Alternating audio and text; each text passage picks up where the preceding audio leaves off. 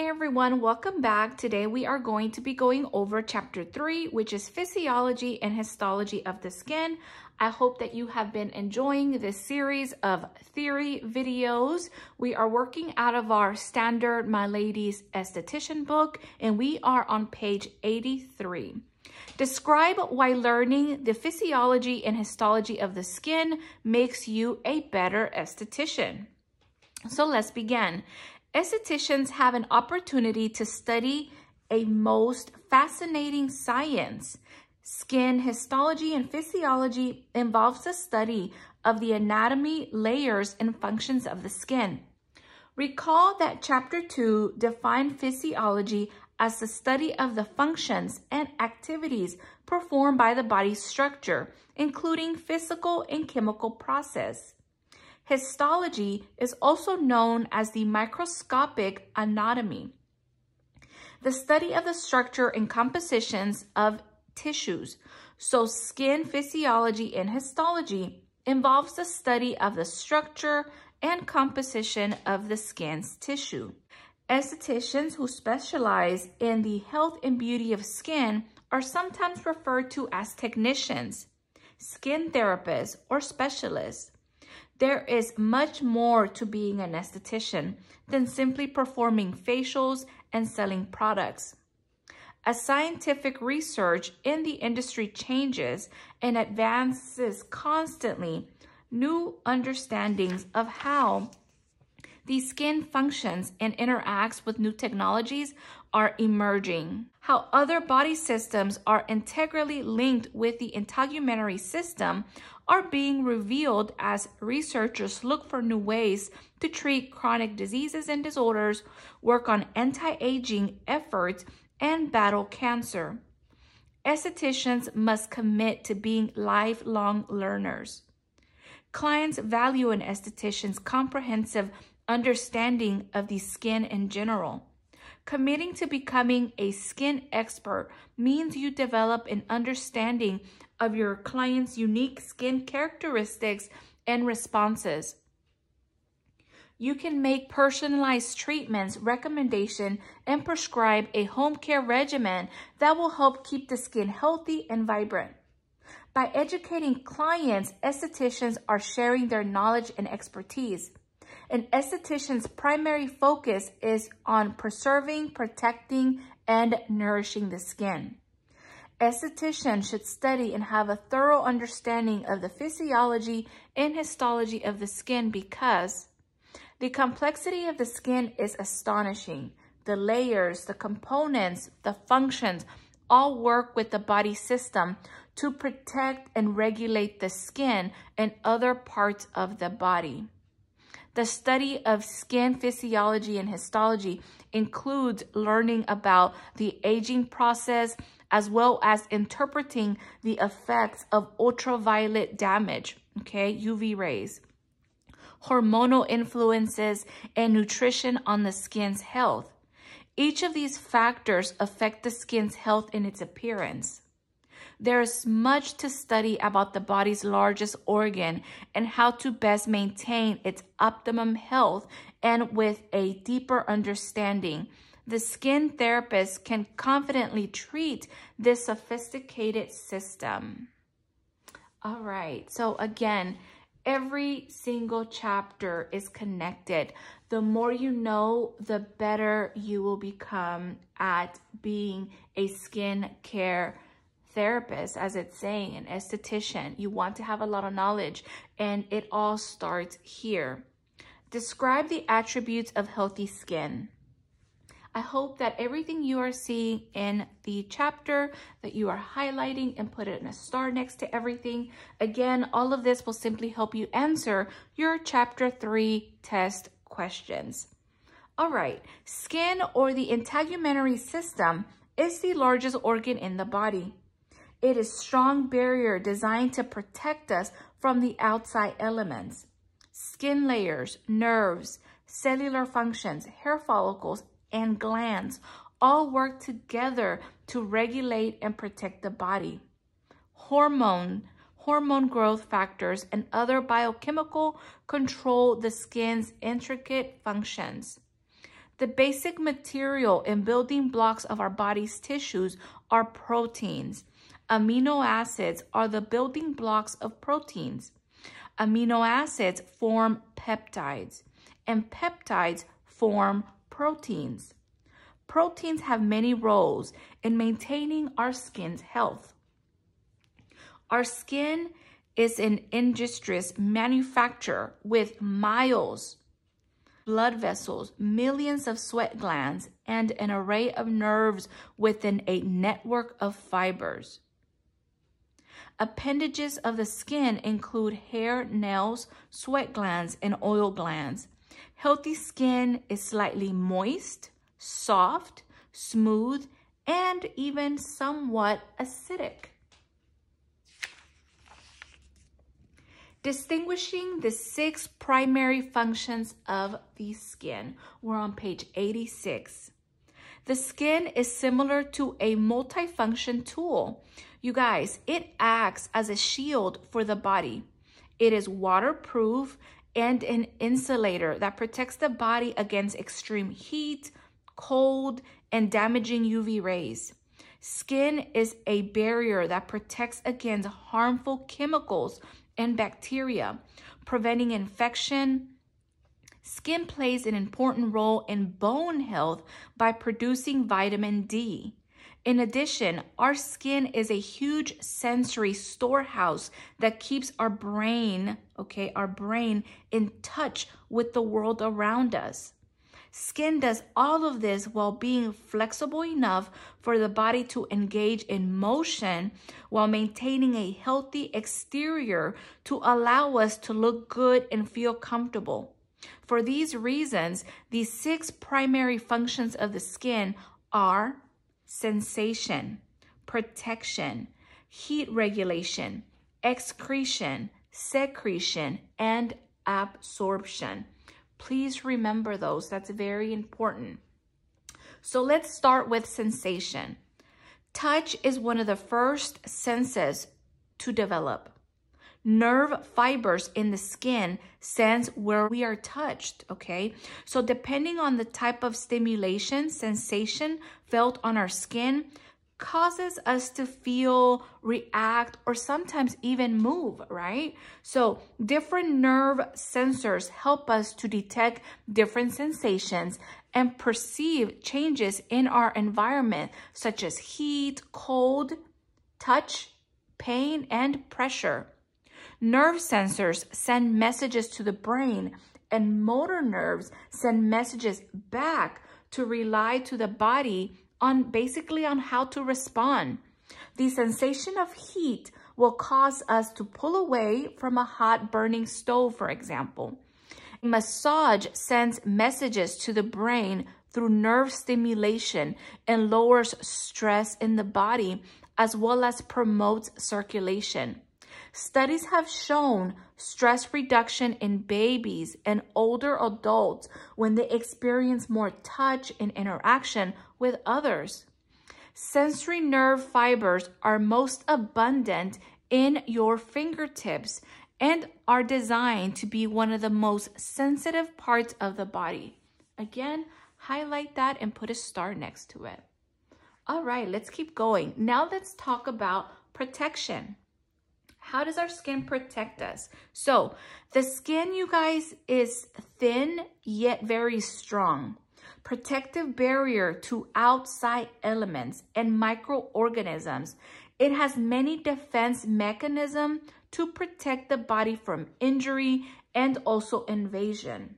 Sebum, sebum, which is oil, okay? Sebum is oil on the epidermis gives protection from external factors such as invasion by certain bacteria. The acid mantle is the protective barrier, you guys, that is made up of sebum, lipids, sweat, and water. These components form what is called a hydrolipidic film to protect the skin from drying out and from exposure to external factors that could damage it. Hydro means water. Lipidic means oil. So a hydrolipidic film provides a oil-water balance on the surface of the skin. So that means that we have to protect our acid mantle. That is why sometimes overstripping our skin out of these good oils is not good, all right? Because then we don't have the protection our skin actually needs, all right? So keep that in mind. The acid mantle has an average pH of 5.5.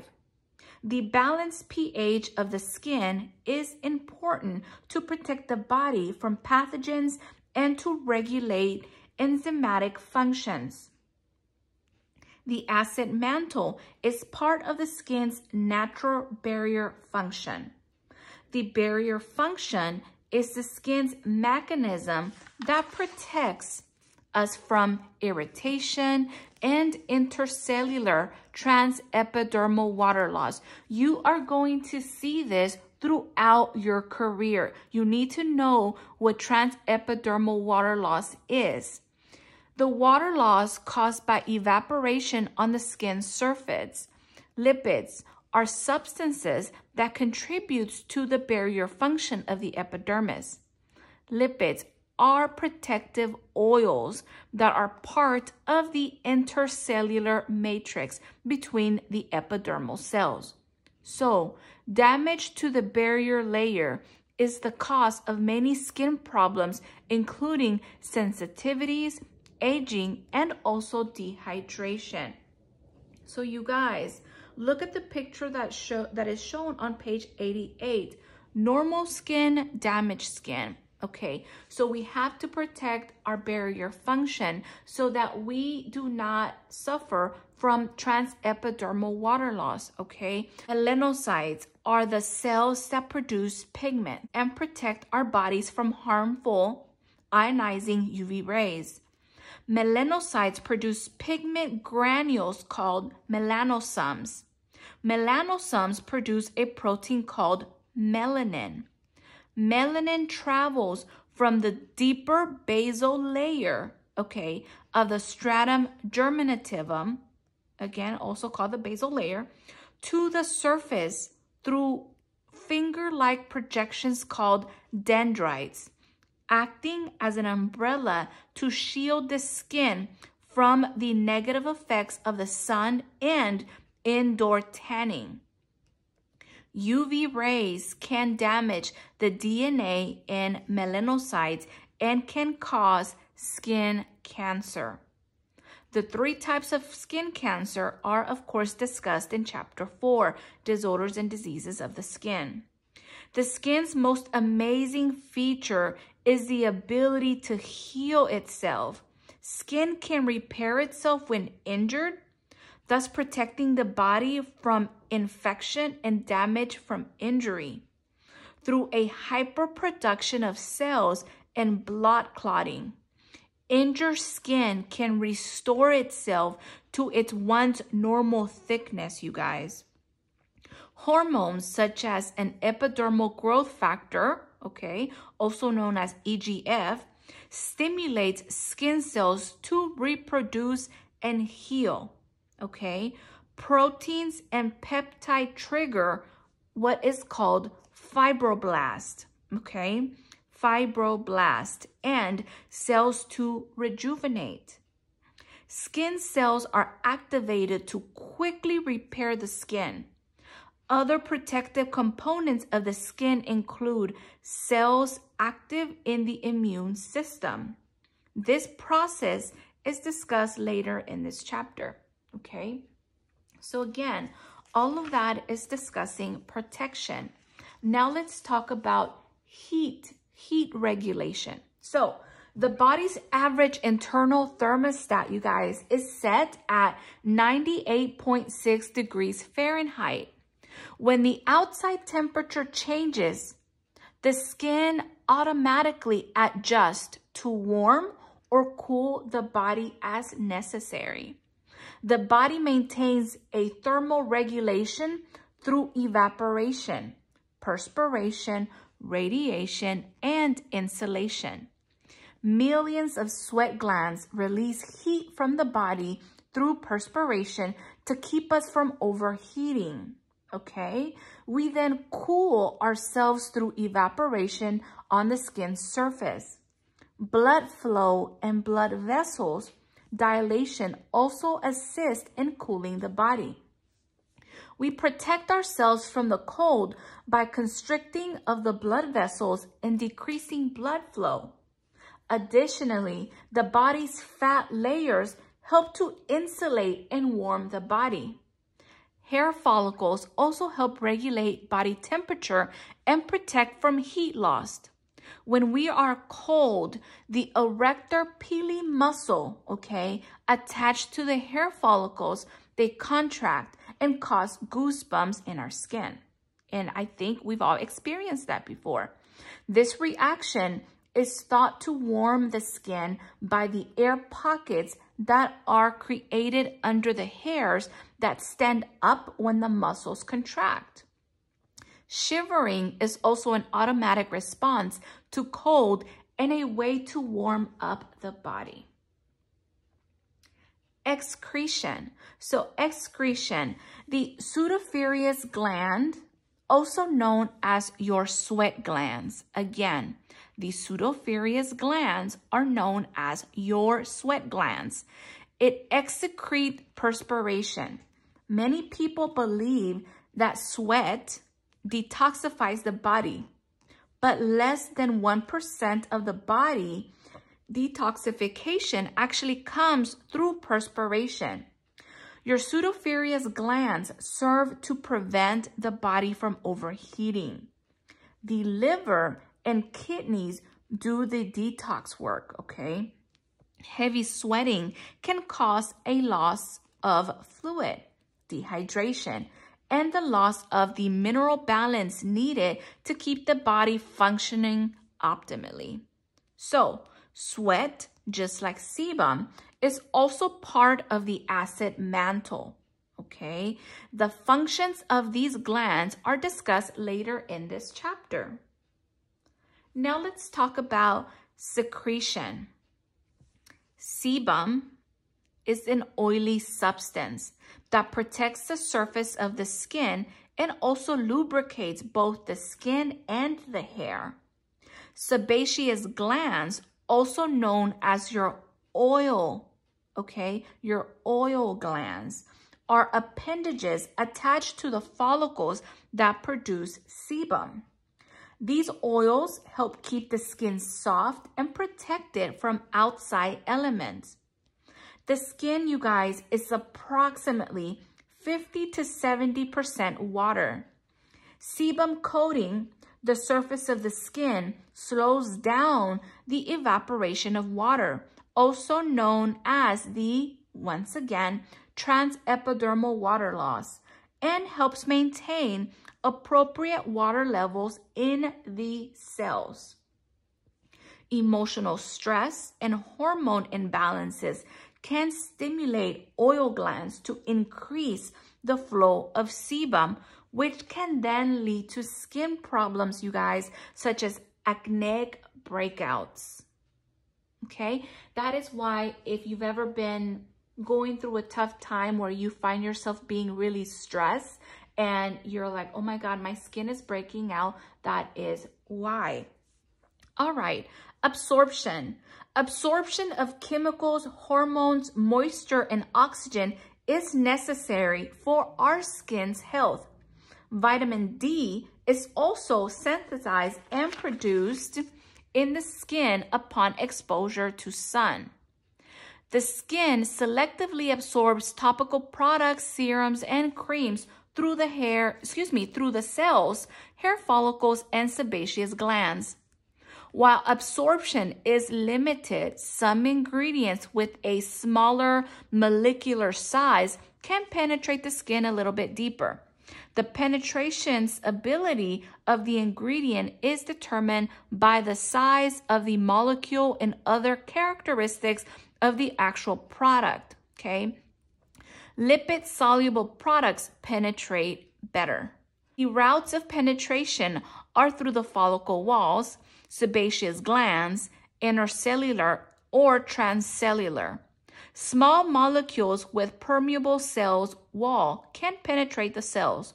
Larger cells with non-permeable cells walls can be temporarily absorbed by the glands in the skin and can travel through the intercellular spaces. And there are your examples right there. So yeah, Obviously, something like a moisturizer, I'm pretty sure the molecular size of a moisturizer will be a lot larger, so it will tend to sit more on top of the skin to keep it moist. But something like a serum, for example, its molecular size will be a lot smaller, so therefore it will be able to penetrate the skin a lot better. I hope that makes sense. Absorption of select topical products help keep skin moisturized, nourished, and protected. Scientific advances continually result in the creation of new products that are more readily absorbed by the skin, thus making them more effective. New nanotechnology transforms skincare products, micronizing the particles so they're able to penetrate further into the skin. Many skincare ingredients, including prescription creams, can penetrate the skin's uh, deeper layers. This effect can be either harmful or, of course, beneficial, depending on the elements in the topical application and its purpose and function, right? So, all right, we are now on page 91. Explain the function of each layer of the skin from the deepest to the surface. So we are going to start from the bottom and work ourselves up. So I hope you are following along. I hope everything is making sense. This is definitely a chapter that you do not want to go over only once. You have to read this chapter multiple times. I promise you that as you progress in your aesthetic career, all of this will make a lot more sense. So if you're listening to me read, which is absolutely fine, I know you can obviously read this on your own as well. But as you're listening to me read, I promise you that perhaps three, four, even five months from now, you go back and you read this again, you're going to be like, wow, I get it now. Everything makes more sense. That's how it always is, you guys. So you have to read this multiple times. All right, so let's keep going. The skin comprises of three main components. We have the hypodermis, or what is called the subcutaneous layer. Then you have the dermis, and of course, the epidermis. We are going to start again at the deepest layer and work our way towards the surface. So again, from the bottom to the top. So Subcutaneous tissue, the subcutaneous layer, also known as the hypodermis or superficial, okay, layer. It's composed of loose connective tissue or subcutaneous tissue, also known as adipose tissue. This layer is about 80% fat. This tissue creates a protective cushion that gives contour and smoothness to the body.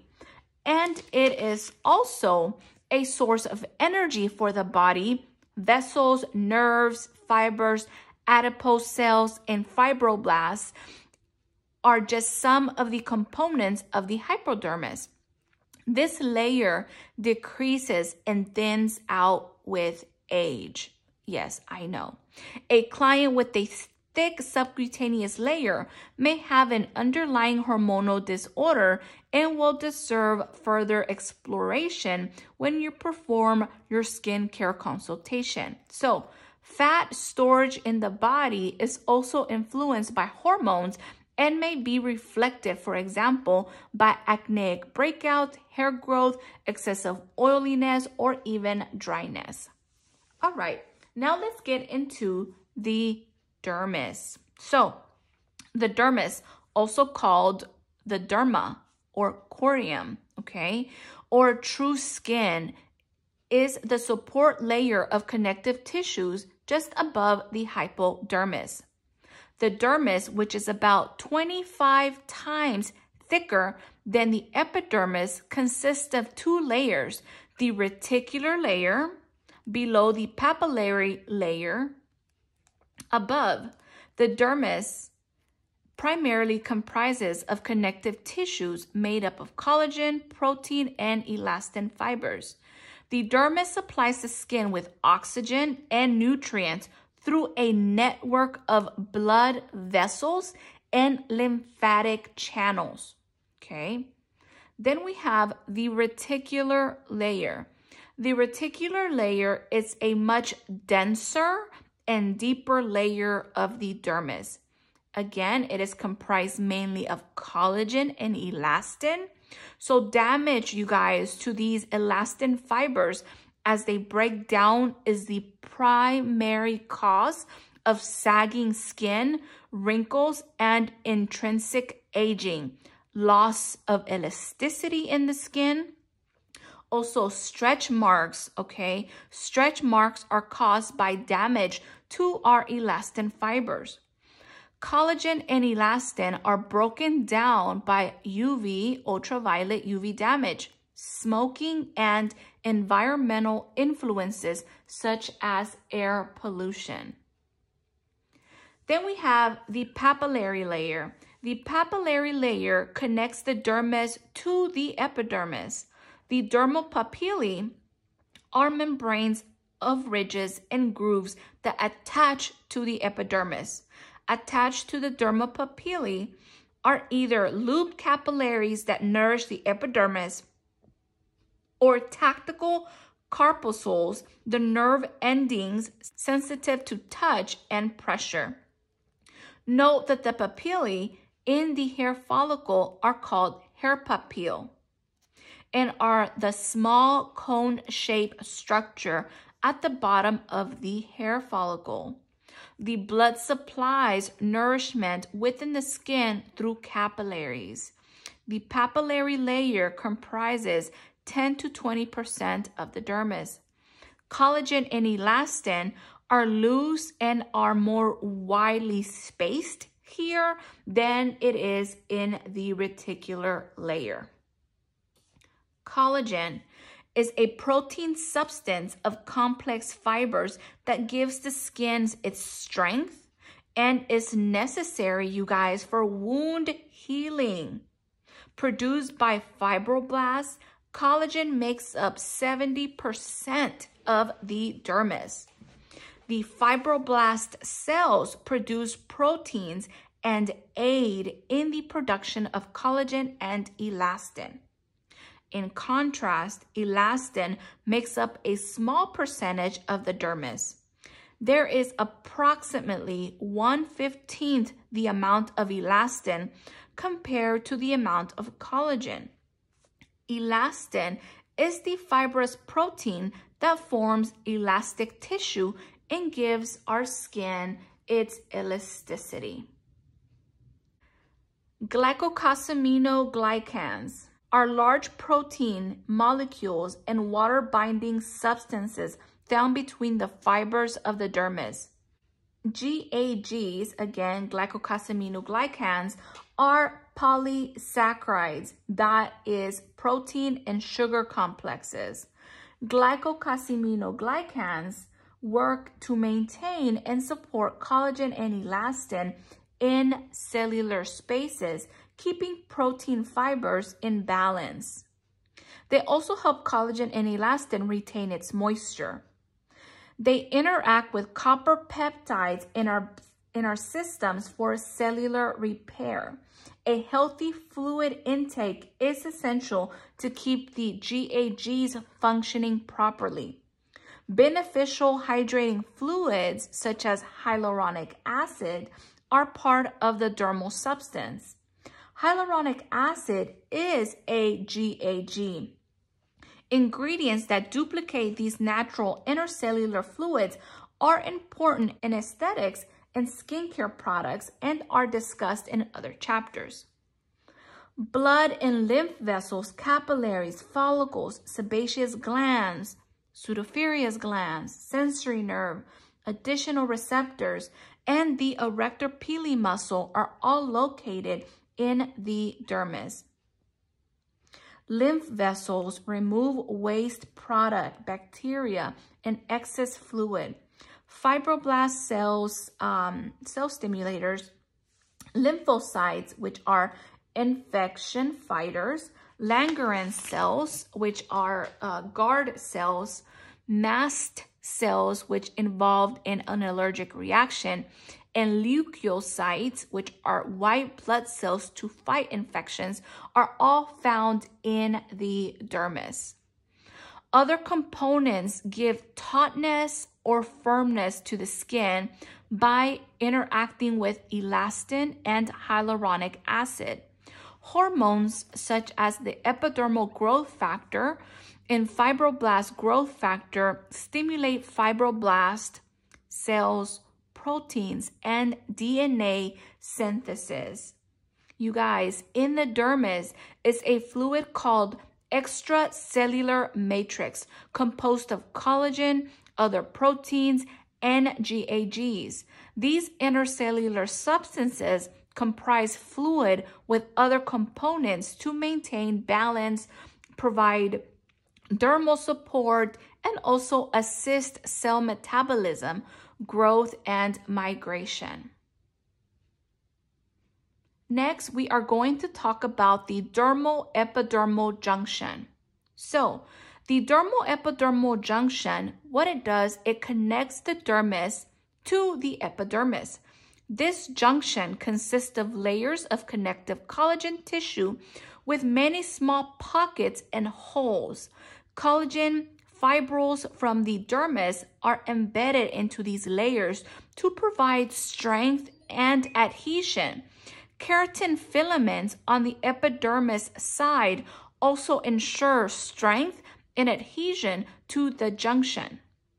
Some states define the esthetician's scope of practice as, meaning not beyond the DEJ, meaning the esthetician cannot treat the skin beyond the epidermis. Okay? All right, now let's talk about the epidermis. The epidermis is the outermost layer of the skin. This is the epithelial tissue that covers our body. It is thin, protective covering with many nerve endings. The epidermis is composed of five layers, okay, called strata. Singular will be stratum, all right? So as you can, as you guys can see, the picture here on page, bottom of page 94. Again, I hope you are still following along with me. All right, so we have stratum germinativum, okay? The germination of growth layer, which is the bottom layer also known as the basal cell layer. So you will hear a lot of times people refer to the stratum germinativum as the basal layer. Just know that it is the same layer, okay? Then we have the stratum spinosum, which is called the spiny, spiny cell layer. Then you have the stratum granulosum, also known as the grainy cell layer. Then you have stratum lucidum, known as the clear layer, okay? Present only where the skin is thick, which will be on the soles of the feet and the palms of your hands, okay? Then you have the stratum corneum, which is the horny layer, which is the layer that us estheticians, we are constantly working on. This is the layer that we are constantly exfoliating, okay? Understanding how the skin cell layers function is important, okay? In choosing ingredients and of course, even choosing treatments. Estheticians' scope of practice reference working on the epidermis and not the dermis, okay? We have to stay on the epidermis, you guys. Unless, of course, you are working under the direction of a physician or other licensed medical practitioners, such as a nurse practitioner um, or a physician's assistant, for example. All right, let's keep going.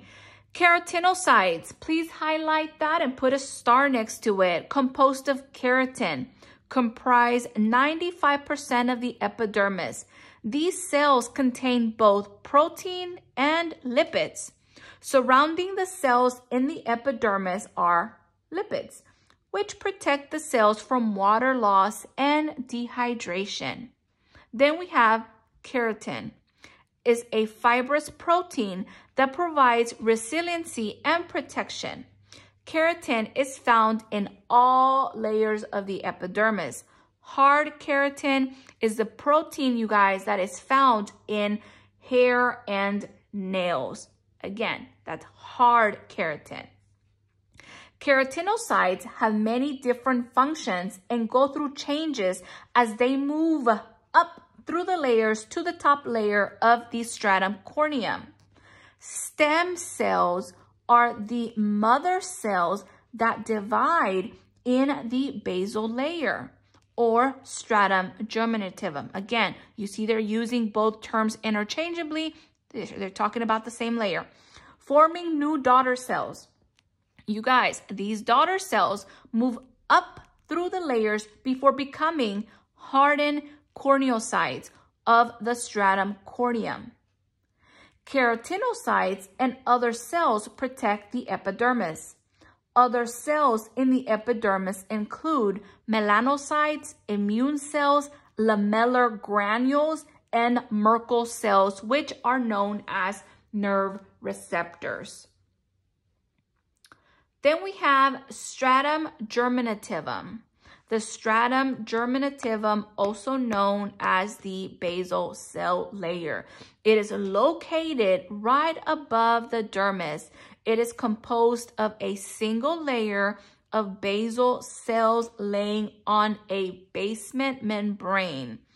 In this active layer, stem cells undergo continuous cell division, also known as mitosis to replenish the skin cells that are regularly shed from the surface. Stem cells are basically mother cells that divide to produce daughter cells in a remarkable process. Mother cells divide to form two daughter cells. Some of these stem cells and daughter cells always remain undifferentiated and keep dividing for constant self-renewal over a lifetime. These either remain stem cells or they are programmed to become something else, such as a keratinocyte. In the body, some daughter cells go on to become skin cells, other cells become glands, follicles, tissue, or even organs. Daughter cells that are not able to divide anymore have the capability to program themselves to end up as one specific type of cell. This is known as terminal differentiation. Cells such as these keratinocytes began their journey of terminal differentiation as they migrate to the surface and eventually become strong and protective. Cells in the basal layer produce the necessary lipids that form cell membranes and hold the cells together. Merkel cells, okay, are touch receptors also located in the basal layer. The stratum germinativum also contain melanocytes, which are cells that produce pigment, meaning color, granules in the basal layer. About 5 to 10% of the basal cells are melanocytes. The pigment-carrying granules called melanosomes then produce a complex protein called melanin, which determines your skin, eye, and hair color. Amazing, right? All right, let's move on to the stratum spinosum. So the stratum spinosum, also known as the spiny layer, is above the stratum germinativum. Cells continue to divide and change uh, shape in this layer. The enzymes are creating lipids and proteins. Cell appendages, which resemble prickly spines, become desmosomes, the intercellular structures that assist in strengthening and holding the cells together. Desmosomes are keratin filaments, the protein bonds that create the junction between the cells. These strengthen the epidermis and assist in intercellular communication. Also found here are Langerhans immune cells, which protect our body, you guys, from infection by identifying foreign materials, okay, antigens. The immune cells help destroy these foreign invaders. Keratinocytes and melanocytes work in, work in synergy here, forming the even placement of pigment granules. Lamellar granules are cells that contain lipids to maintain the barrier function. The spinosum is the largest layer of the epidermis. Now let's talk about the stratum granulosum. The stratum granulosum, also known as the granular layer, is composed of cells that resemble granules and are filled with keratin. The production of keratin in intercellular lipids also take place here in this layer. Enzymes dissolve the structures, desmosomes, that hold the cells together. As these cells become keratinized, they move up to the surface and what happens? They replace the cells shed from the stratum corneum. Naturally, moisturizing substances such as triglycerides, ceramides, waxes, fatty acids, and other intercellular lipids are made here and are excreted from cells to form components of the skin's waterproofing barrier function of the top layer. These water-soluble compounds are referred to as natural moisturizing factors and hydrate the lipid layer surrounding cells, absorb water, and prevent water loss to keep our skin nicely hydrated. Now let's talk about the stratum lucidum. It is a thin, clear, that is your keyword, clear layer of dead skin cells under the stratum corneum. It is translucent layer made up of small cells that let light pass through. This layer, you guys, is the thickest on the palms of our hands and the soles of our feet. The keratinized, the keratinocytes in this layer contain clear keratin. The cells here release lipids, forming bilayers of oil and water. The thicker skin on the palms and soles is composed of epidermal ridges that provide a better grip while walking and using our hands. This layer also form our unique fingerprints and footprints. Then we have the stratum corneum, also known as the horny layer. Is the top outermost layer of the epidermis. The estheticians work primarily extensively in this layer. The stratum corneum is very thin, yet it is waterproof and permeable. It regenerates itself, detoxifies the body, it responds to stimuli.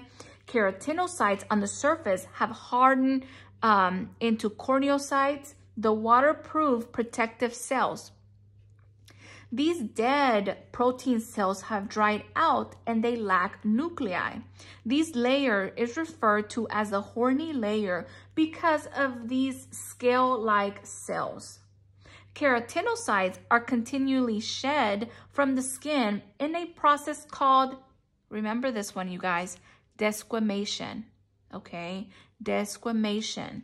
These cells are replaced by new cells that are coming, okay, from the lower stratum up to the surface of the skin. This process of desquamation and replacement is known as cell turnover. Remember that, our cell turnover rate, okay? The average adult cell turnover rate, it's about every 28 days, depending on that person's age, lifestyle, and even their health. The cell turnover rate slows down as we age. Average cell turnover rate for a baby, for example, is about 14 days. In your teens, your cells are replaced every three to four weeks. By the time you are over 50, your cell turnover rate has slowed down to maybe every 42 to 84 days. That is a big difference. So understanding the process of cell turnover will help you make better decisions about how to treat aging skin. And that is why we exfoliate our skin, we moisturize our skin, we try to keep our skin nicely balanced. That is why we also do and offer chemical peels to help with our cell turnover rate, especially as we are getting older. We want to make sure that we are giving that our skin that boost it needs to help regenerate newer cells, right? So our skin can still feel very smooth and look resilient, right? And more youthful. I hope that makes sense. Cells and oil combine to form a protective barrier layer on the stratum corneum. Lamellar granules are secreted from keratinocytes, resulting in the formation of an impermeable, okay, lipid-containing membrane that serves as a water barrier and is required for correct skin barrier function. These bodies release components that are required for skin shedding, again, desquamation, in the stratum corneum. This is the acid mantle. Stratum corneum cells are surrounded by bilayers of oil and water. Lipids of the cell membrane, such as phospholipids and essential fatty acids, determine the health of this protective barrier. So to clarify, a bilayer is a thin polar membrane made of two layers of lipid molecules.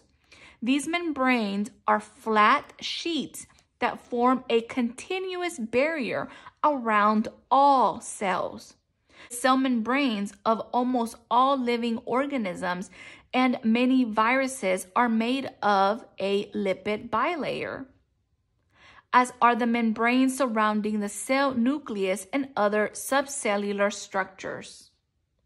In general, the stratum corneum has 15 to 20 layers of cells.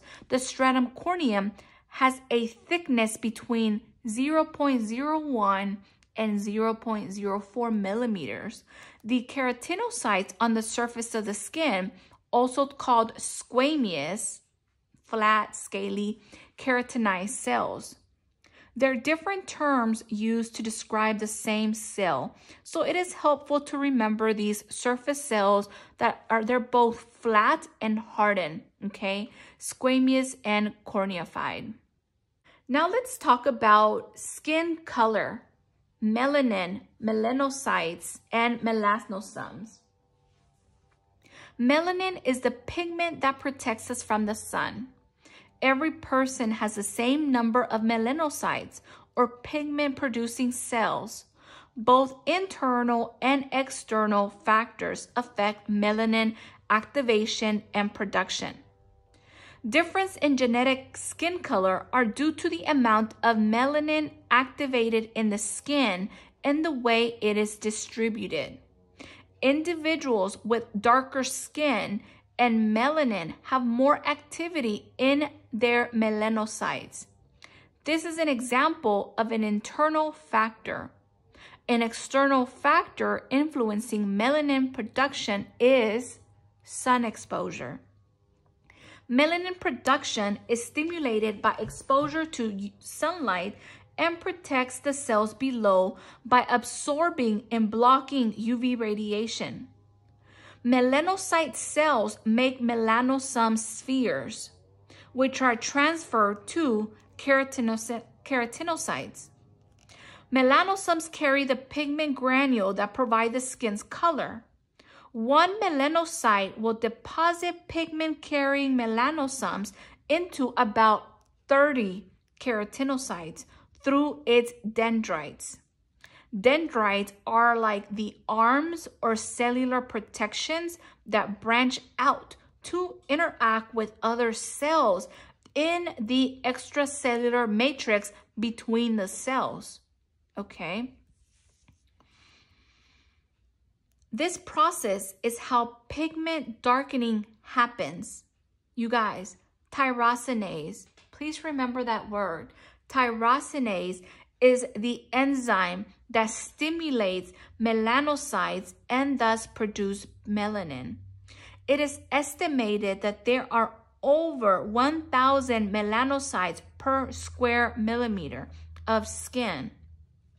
The body produces two types of melanin. Please remember this. The first one is pheomelanin, which is red or yellow in color, and eumelanin, which is dark brown to black. People with light color skin mostly produce pheomelanin, while those with darker color skin mostly produce eumelanin. Individuals with fair skin have approximately 20 melanosomes per keratinocytes, and people with dark skin have about 200 melanosomes per keratinocytes. That is a big difference. Products that suppress melanin production is inter interrupting biochemical process are referred to as brightening agents. Some are called tyrosinase inhibitors. These products are designed to help reduce hyperpigmentation. Pigmentation disorders is obviously discussed in chapter 4. Products and treatments for hyperpigmentation are also discussed in other chapters. We have covered a lot of information so far. A summary of the main components of the skin, including their respective layers and functions, is also provided here. I know that's been a lot, a lot of information, but I do want to point out, so yes, there are a lot of products that are considered tyrosinase inhibitors. And um, I have a few here with me, and I'm just going to show you guys, uh, what did I do with it? Um, so we have this one. This is from Glymed. It's called Diamond Bright Skin Lightener. Um, Diamond Bright Skin Lightener reduces pigmentation and brightens the skin through cutting edge technology, evening out skin tone, dark spots for a younger and smoother looking complexion. So again, this is safe for all skin type and it is a product that I absolutely love. All right. Then you have something like the dermapigment bleaching fluid, do not let the word bleaching uh, scare you. It does contain 2% hydroquinone. No, hydroquinone is a little bit controversial. This is not something that you will use forever. Obviously, it's not recommended that anyone uses hydroquinone for over a year. All right, so you do have to give your skin a break and a lot of times tyrosinase inhibitors products do make you very sun sensitive. So you must be aware that you have to stay away from direct sunlight and of course use sun protection. Okay. Um, but again, you guys, there's a lot of other uh, products out there. You just have to do some research. I have several, um, I just don't have them very here close to me. But again, that was just to show you guys a few. All right, so we are going to come to a stop on page 99. We are going to continue on page 100 here shortly. If you would like to keep watching, please look for video number two. Thank you so much for watching. If you have found this helpful, please don't forget to like and subscribe, and I'll see you guys in a second.